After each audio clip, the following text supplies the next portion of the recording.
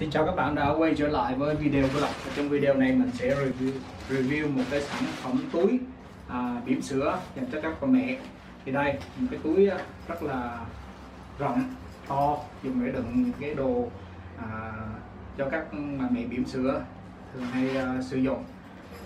Đây một cái ngăn bên trong rất là rộng rãi và một cái miệng bằng miệng rất là chắc chắn. Dùng để đựng rất rất là nhiều đồ bỉm sữa um, đeo rất là tiện lợi cho các uh, phụ nữ bỉm sữa. Đây bạn thấy mình uh, làm cho nó phồng ra rất là to đựng rất là nhiều đồ.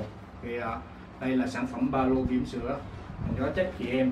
Thì các bạn muốn uh, mua sản phẩm này các bạn để lại thông tin bên dưới video.